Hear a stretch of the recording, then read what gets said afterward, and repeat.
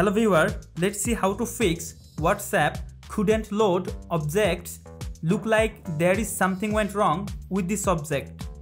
Tap and hold on your WhatsApp application. Now tap on I button. Scroll down and click on WhatsApp storage.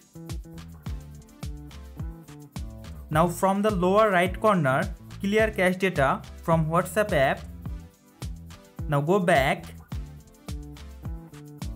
Now go to WhatsApp app permissions. From here, ensure your all apps permission is allow.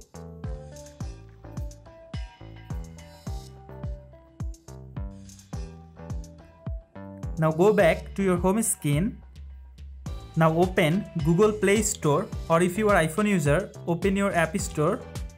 Now tap on search icon. Now search WhatsApp app. Now from here, update your WhatsApp app if it available. Then go back to your home screen and open your WhatsApp application. Now try to open a PDF. Now see WhatsApp couldn't load object looks like there is something went wrong with this object problem solved.